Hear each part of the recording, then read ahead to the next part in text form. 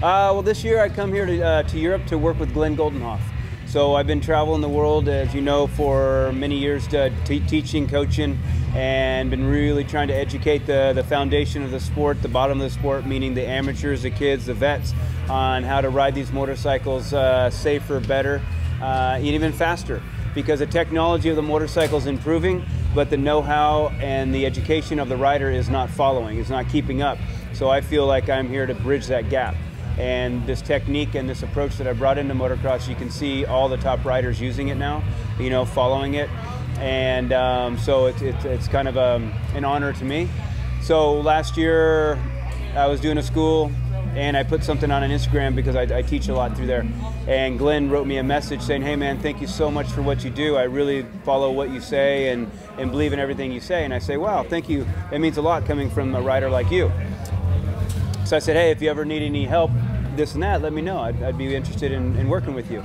Message back, hey, you want to come to Spain for a week while I'm testing? All right, I go there. Two days later, we agreed to do the GPs. So we hit it off quite well.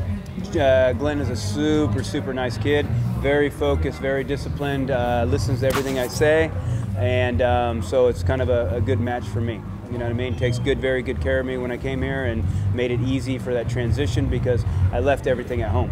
You know, I left, I left family, I left kids, I left home, I left lovers, I missed, I left it all at home. so now I, I, come here and um, so it's good to have somebody kind of set you in the right places. So it's, good, and it's good to be back in the GPs. You know, it's been uh, it's been 20 years. You know, since yes. I raced the GPs, or my last Nations was in uh, no, last Nations was 2003 okay. in, in Belgium. So it's good to come back and I see the progression, I see the professionalism of it, and then everybody here has been, uh, you know, with welcome arms. So it's, it's, it's, good. You know, of course, you know, it's not the best time to have a GP, but as you see today, the weather's perfect and the track will come out to be absolutely perfect today. So, you know, and again, you can have, you can have, uh, you know, you can have a GP in the summertime and think no rain, but then you have this huge monsoon come in. So it's the only thing that's different right now is just the cold because it can rain at any time of the year. And so, you know, that's part of racing, that's part of motocross. And um, but I think they've done a very good job. They're smart with the track, not digging it up. And again, it's going to turn out to be an amazing weekend, so it's good.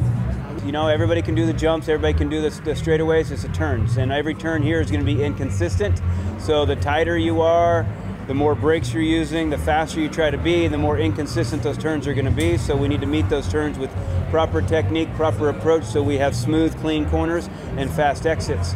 That's what's going to that's what's going to make you go fast today. Is it going to win the race? I don't know. There's many different uh, aspects of it, but it's the first moto, the first GP of 18 or 19 or whatever it is. So the, the, the series cannot be won today, but it certainly can be lost today. So we're just taking one step at a time. You know. We're gonna we're gonna we're gonna we're gonna improve and get fitter and faster as the year improves. Not try to come into the year already maxed out. Because if you're maxed out, there's only one way to go, and that's down.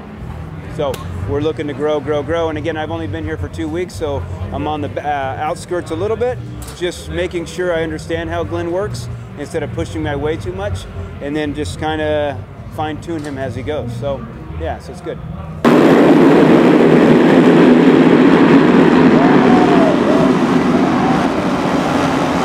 Yeah, I grew up, uh, I was born and raised in Escondido.